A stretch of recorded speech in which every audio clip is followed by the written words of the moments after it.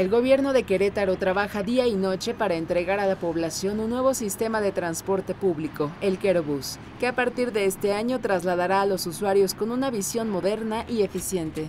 De acuerdo con datos de la Secretaría de Desarrollo Urbano y Obras Públicas, el nuevo sistema de transporte público se desplazará por dos importantes vialidades de la capital queretana, Eje Avenida de la Luz y Eje Constitución de 1917.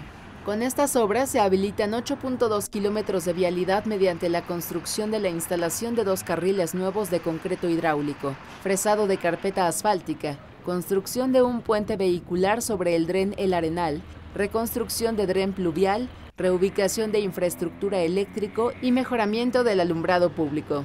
Además, la obra contempla la creación de ciclovías para una comunidad integral y más espacios de convivencia y recreación. La obra lleva un avance de 48% y los beneficios son mayor orden vial, seguridad en los traslados, servicio eficiente, estaciones alumbradas y mejor calidad de vida. Se espera que en junio próximo comiencen las primeras pruebas de este nuevo sistema, el cual arrancará oficialmente en octubre de 2017. Con información de Germán Meneses, corresponsal en Querétaro. Notimex.